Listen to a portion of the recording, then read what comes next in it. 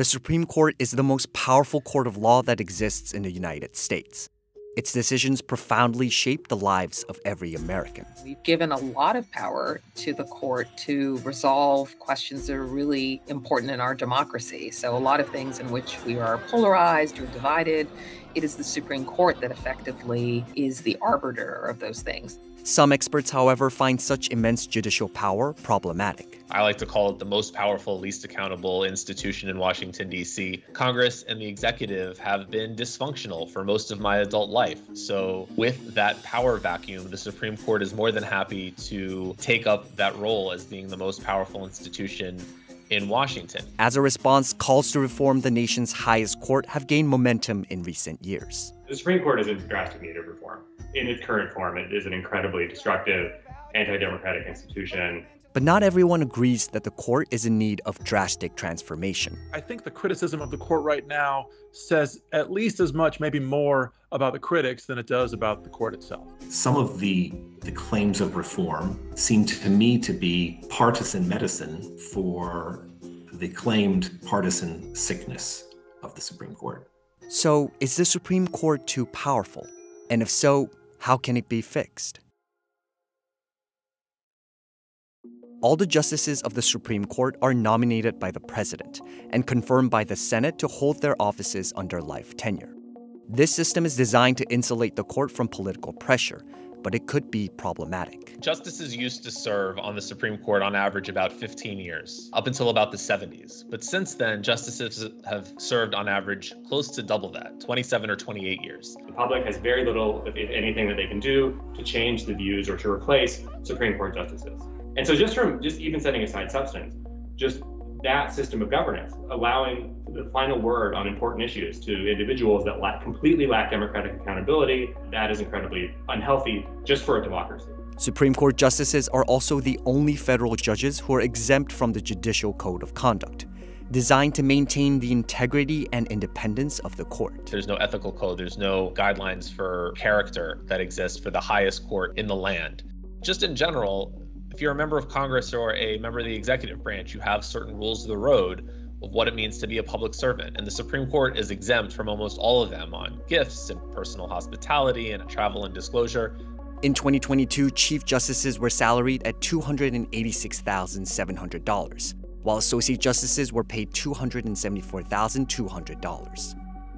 But justices also have other streams of income, usually through book royalties and teaching fees. We know very little about their finances. We only get financial disclosure reports from them once per year, which which lists some vague details about debts and real estate and financial holdings. So far, I think the existing reporting requirements for the justices are, are doing a good job.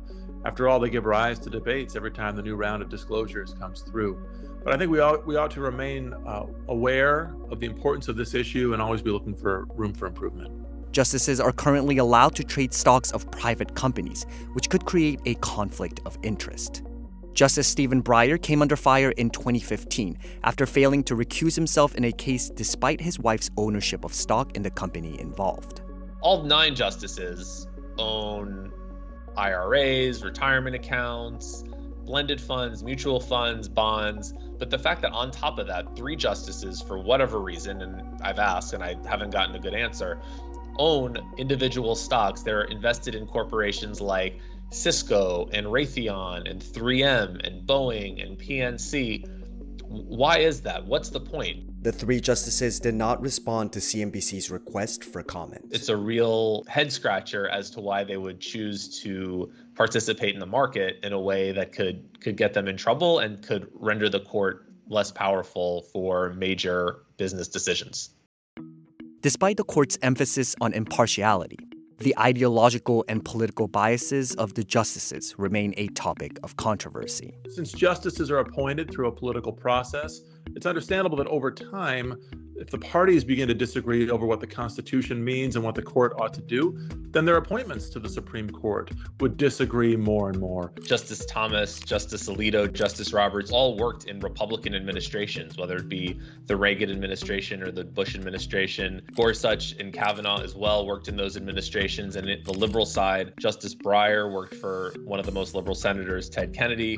Justice Kagan was President Obama's chief legal officer, the Solicitor General. So each of the justices has long history within the political parties. So it's not that surprising that their decisions would come out as heavily partisan. I don't think this says much about the justices becoming more partisan. I think rather it says more about people seeing the justices through a partisan lens. 13 of the 16 confirmed justices since 1980 have been confirmed by the same party that nominated them.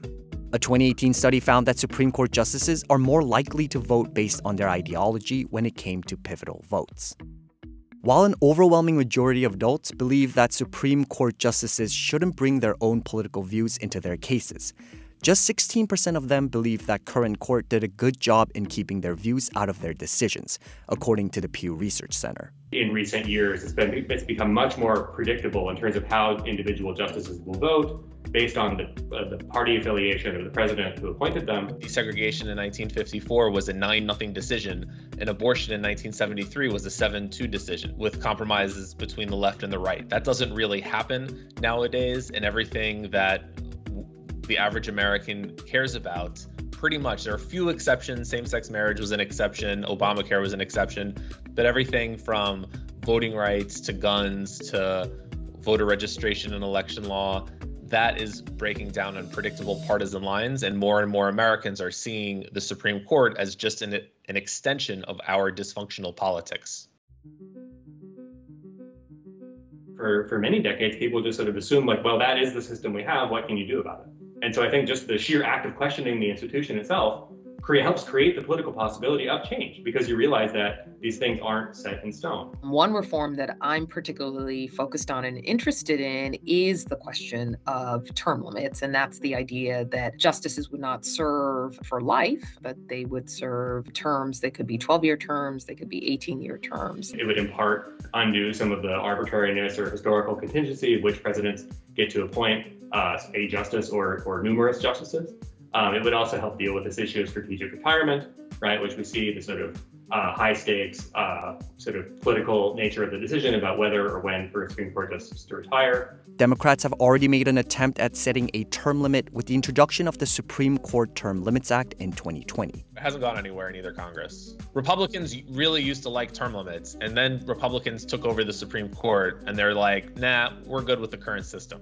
Meanwhile, a U.S. House committee advanced a bill extending the Judicial Code of Conduct to Supreme Court justices in May 2022. I think the proposal for the establishment of a code of ethics for the federal judiciary, which already exists, but expanding that to cover the U.S. Uh, Supreme Court is is legitimate and logical and and fair minded. The judiciary and the Supreme Court, more specifically, has declined for years to improve the ethics and recusal rules. So it's really Congress's job to step in and step up, and that's what they've done with with the Supreme Court Ethics, Recusal, and Transparency Act, and I hope it continues to advance.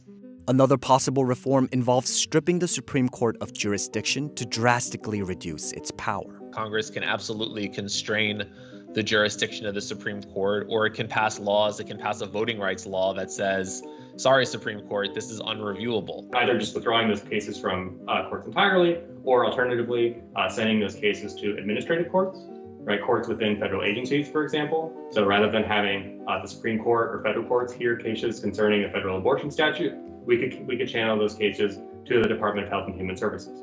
But perhaps the most widely discussed option on the left is court packing, or expanding the size of the court.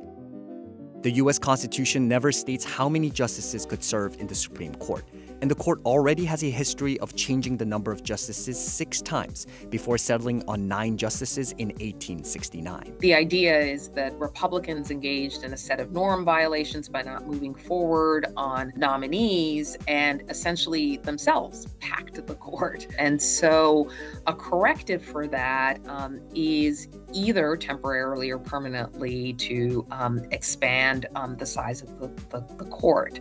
Um, even apart from those arguments about norm violations, there are arguments that our court should be bigger. You would allow for more um, variety um, of justices, there would be more diversity. But not everyone is in a rush to dramatically transform the Supreme Court. I think one of the real dangers of our political environment right now is that disagreements over outcomes, disagreements over policies or laws quickly blend into disagreements over legitimacy. We're seeing more and more attacks on the court's outright legitimacy, arguing that the justices are not are not legitimate because they're not reaching the outcomes that particular people would like.